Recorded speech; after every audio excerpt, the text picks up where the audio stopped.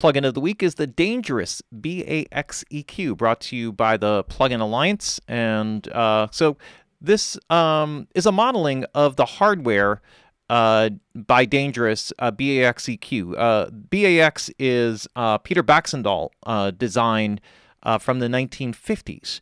And what was so famous about his design from that era is he created an active equalization circuit where all of the equalization circuits uh, that we know of anyway, at that particular time were all passive circuits. And why, when you look back historically and you look back at all of the old equalizers like the Pultecs and things like that, or or uh, from Abbey Road, um, uh, the Curve Bender, all those were passive EQs.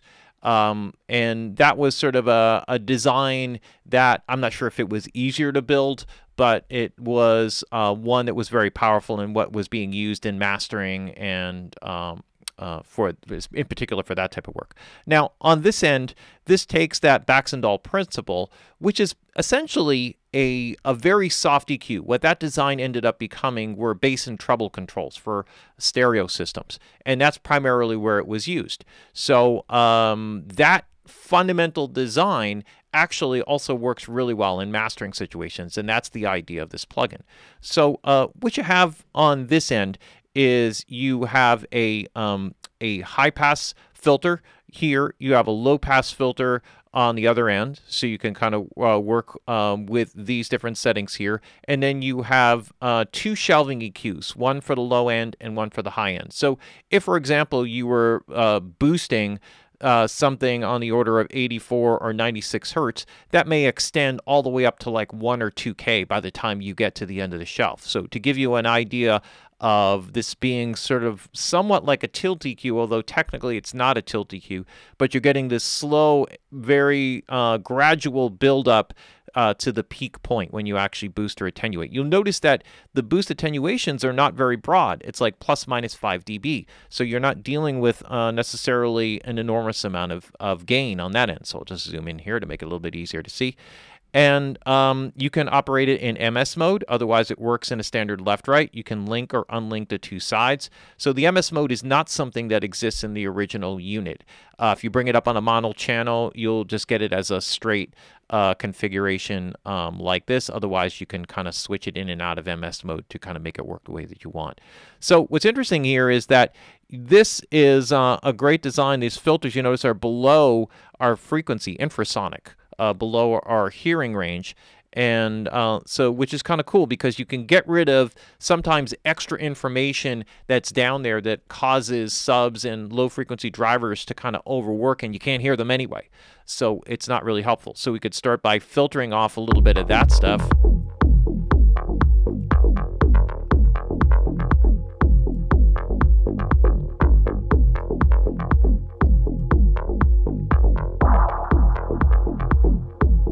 and that can sometimes uh, um, serve to really tighten up the sound on the low end. So if you wanted to kind of bring in some, well, actually, let's start by bringing in a little bit of air first. We'll go to the top end. So we also have a, a out on on the cutoff, and you notice that it starts at 70k, which is pretty crazy. So uh, if we bring this down to a more reasonable level, part of this um, is in uh, preventing some of uh, perhaps artifacts that may exist by doing a level boost here on the high frequency shelf um, that extends up into that range and can create other problems, rippling down lower.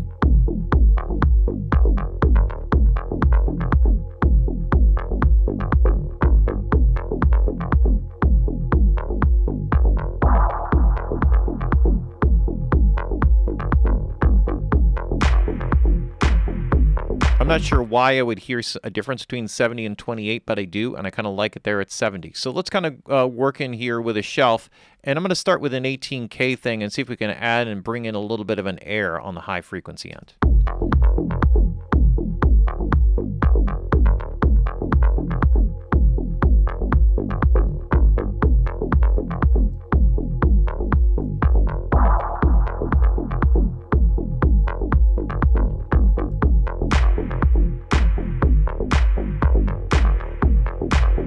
What's really amazing is that that the softness of that curve and one of the real powers of this is that it's so smooth you almost wonder if you're hearing it.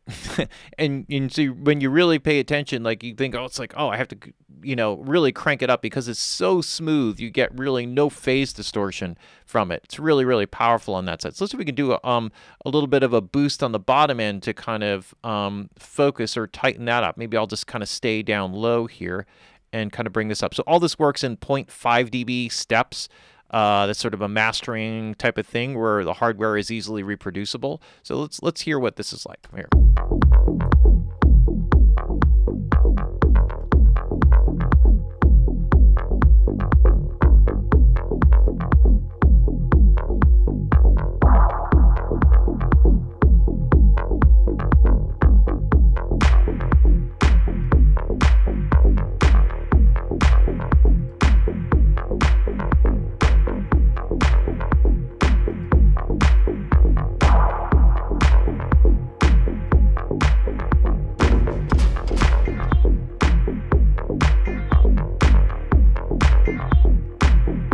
And then here, if we wanted to switch to MS mode, I could go ahead and I could take this and uh, unlink the sides, excuse me, and then uh, uh, and kind of take away some of that same amount so it focuses more of that low end in on the um, on the center signal.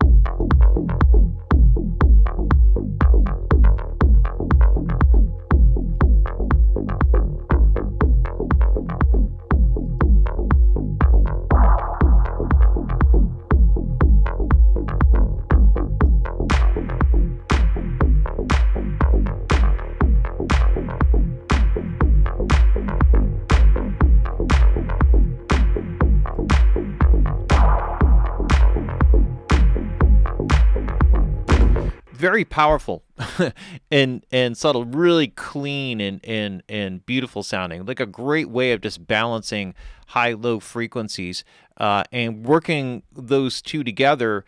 Um, it's not designed to really gut mid range or do any of those types of things. It's more of just like a tonal, overall tonal balancing. Very smooth, very clean, really powerful, great emulation of this. And this is like a, a classic um, mastering uh, EQ that uh, you need to have. The more I kind of uh, dig into this one and get to use it, the more I realize that I want to include it in all my mastering work. Really, really good emulation. Um, and a very powerful one uh, from the Plugin Alliance. So there you have it. Not a whole lot more to it than that. It's pretty simple. Other than that, you have your output uh, level controls here, which can be linked together. Uh, you can adjust mid-side balances and all of that sort of thing. That sort of comes along with the program. Um, otherwise, uh, mastering grade EQ and a great plugin from the Plugin Alliance. It's the Dangerous uh, BAXEQ.